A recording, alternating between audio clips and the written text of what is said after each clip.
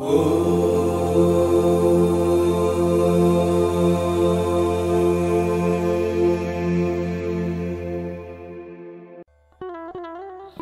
ശ്രീ സായിരാം ഒരിക്കൽ സ്വാമി അരുളി.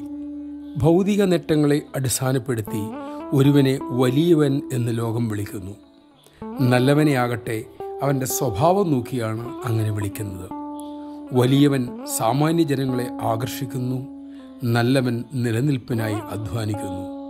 വലിയവൻ മുന്തിയ സുഖസൗകര്യങ്ങൾ അനുഭവിക്കുന്നു.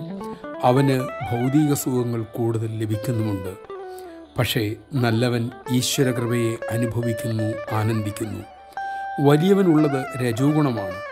നല്ലവന് സത്വഗുണം വളർത്താനുള്ള ശ്രമത്തിലാണ്. വലിയവൻ കൂട്ടുകൂടുന്ന ഇഷ്ടാനിഷ്ടങ്ങളുള്ള ഊതിവിറിപ്പിച്ച അഹങ്കാരം ഉള്ള ജനങ്ങളോടായിരിക്കും. സംഘവും വെറുപ്പും ഇവർക്ക് എപ്പോഴും ഉണ്ടാകും. നല്ലവനാകട്ടെ സജ്ജനങ്ങളുടെ സമ്പർക്കം ഇഷ്ടപ്പെടുന്നു. സംഘം ഇല്ലാത്തതിനാൽ നിസ്വാർത്ഥമായി അവൻ സേവ ചെയ്യാൻ ശ്രമിക്കുന്നു. ധർമ്മം കണ്ണാടി പോലെയാണ്. ആ കണ്ണാടി മാതാപിതാക്കളോട് സുഹൃത്തുക്കളോട് സമൂഹത്തോടുള്ള നിങ്ങളുടെ കടമകളെ വ്യക്തമായി കാണിച്ചു തരുന്നു.